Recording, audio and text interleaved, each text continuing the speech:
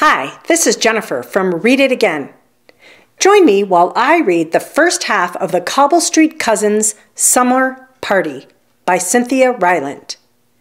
Please consider subscribing, and if you enjoyed this book, hit the like button and share this video with all your friends. Part 1 of the Cobble Street Cousins Summer Party by Cynthia Rylant, illustrated by Wendy Anderson Halperin. Chapter 1 A Little Weepy. In a pretty blue house on Cobble Street, three girl cousins lived with their wonderful Aunt Lucy. Lily and Rosie were sisters. Tess was their cousin, and they were all nine years old and best friends. They had lived in Aunt Lucy's attic for nearly a year in wonderful little spaces all their own.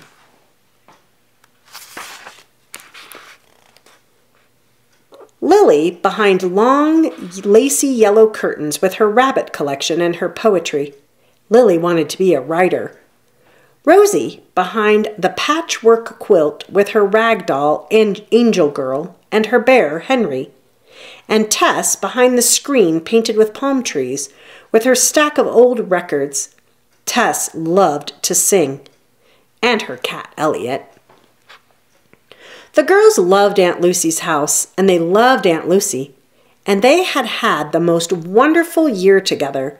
But now their parents, who had been on a world tour with the ballet, were on their way home, and it was time for everything to change. Lily and Rosie and Tess sat on the front porch swing and talked about it, or tried to.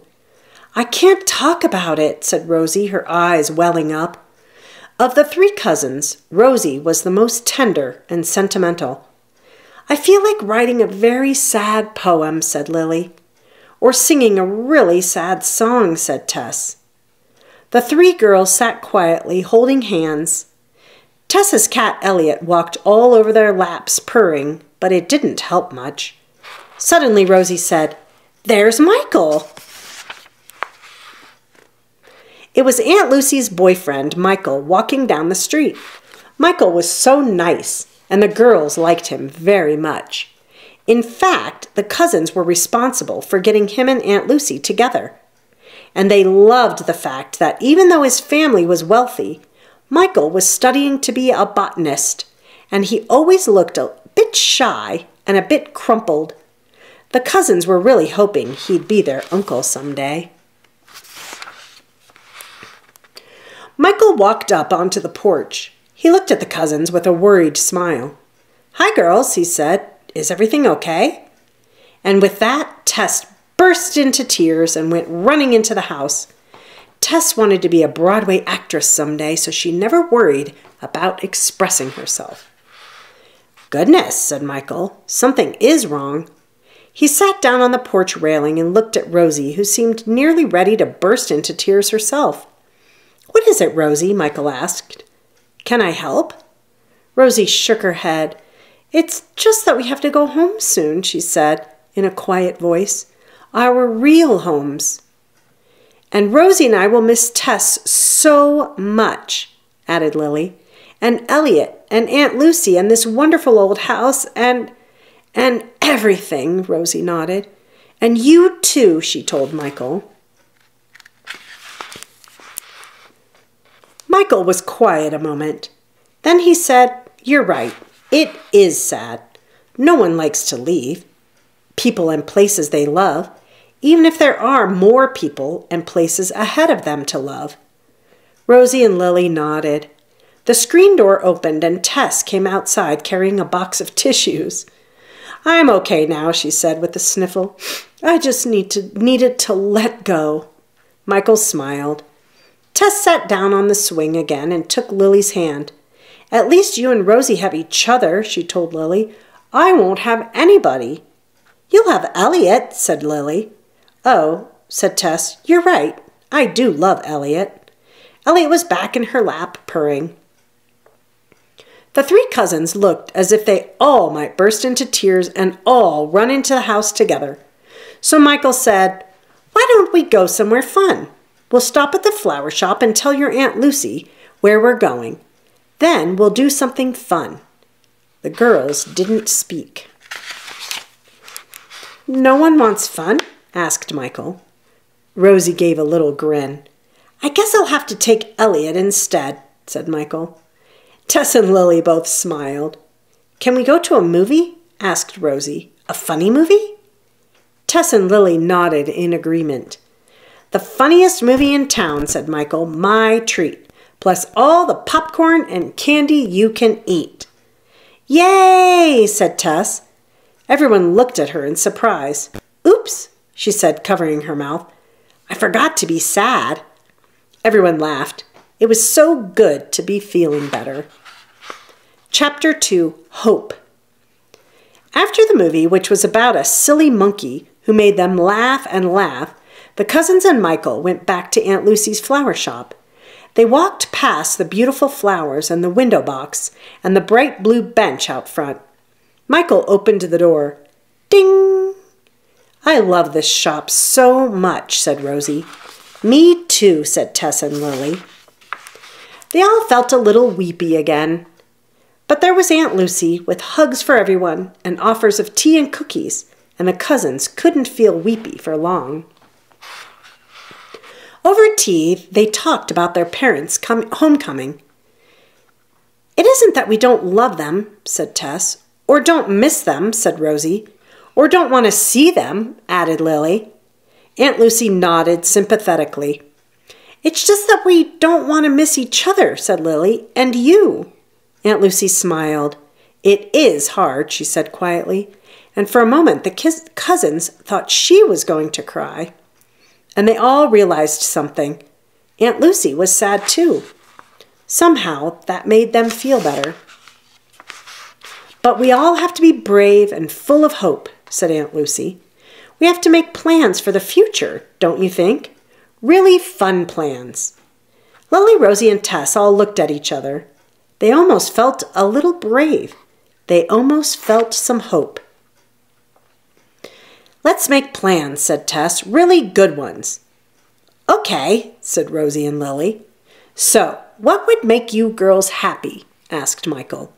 What could you look forward to? Well, said Tess, thinking, how about reunions? Definitely, cried Lily.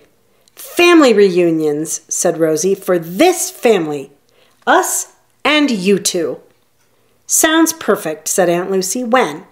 The cousins thought. How about every single summer until we're all grown up? asked Rosie. Yes, said Tess. Definitely, said Lily.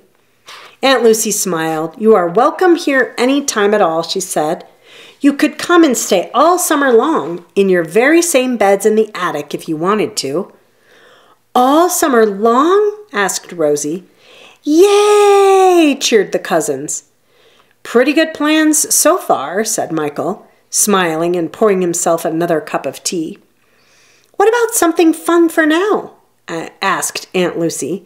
Would you like to do something special when your parents arrive? The cousins looked at each other. I have an idea, said Lily, who was always good at ideas. Let's have a summer party for them, like those pretty ones in the movies with Japanese lanterns on the lawn and fancy punch and entertainment, finished Tess. We're really good at that. Maybe I could make little vegetable people, said Rosie. like what? asked Tess.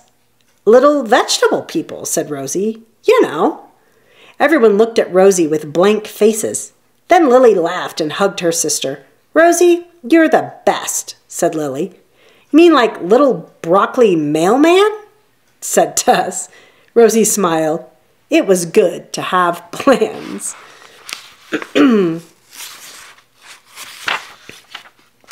Chapter 3 Party Plans. That evening, the co- cousins gathered in the middle of the attic. They called it the playground, with their dolls and bears and rabbit and one real cat to talk about their summer party. I wish we could have an ice sculpture, said Lily, changing the jacket on one of her rabbits. Fancy parties always have ice sculptures. We could make pretty ice cubes at least, said Rosie. Red and blue and green ones. It's easy with food coloring. We could serve pink lemonade with colored ice, said Tess. Great! Lily wrote down that plan for the party. What about food? she asked. Rosie had given up on the vegetable people idea. She worried they might wilt. We could use Aunt Lucy's cookie cutters to make pretty sandwiches, said Rosie. Kitty sandwiches and teapot sandwiches and umbrella sandwiches. Aunt Lucy has good cookie cutters. Great, said Tess. Rosie, you are really good at this. Tess wasn't really surprised. Rosie was always the best at making things pretty or cozy. Rosie was very domestic. Let's make lemon cookies, said Lily. I love lemon cookies. Too, said Rosie. Can we also have fudge for me? asked Tess. Fudge for Tess, said Lily, writing it down. What about entertainment? asked Rosie. My favorite subject, said Tess. We should choose a theme, said Lily. How about goodbyes? asked Tess. Oh no, Rosie said. We'd all be blubbery and weepy. That's entertainment, Tess said with a grin. How about forever? asked Lily. We'll be cousins forever and friends forever, and we'll love this wonderful old house forever. Don't forget Elliot, said Rosie with a giggle, scratching the kitty's head. Sure, said Tess. There are lots of good songs about forever. Good poems, too, said Lily. You should write one, said Rosie. Your poems are best. Lily smiled. Thanks. I just got a great idea, said Tess. What? asked Lily. Let's have fortunes for everybody. We can write them down and then roll them up into little packages, and everybody will get one. You know how Aunt Lucy said it's all about the future now. Perfect, cried Lily and Rosie. Tess grinned. I am so brilliant, she said. The cousins' summer party was really beginning.